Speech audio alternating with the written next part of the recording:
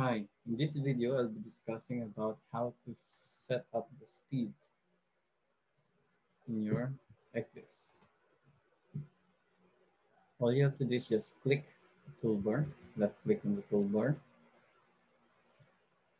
and left click on the options. Under the display window, select the units. So you have resistance, you have here your speed. All you have to do is just click the unit for your speed. There are four.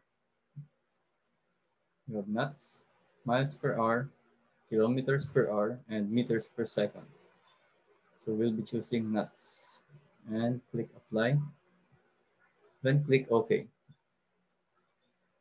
And we're done. Thank you and God bless.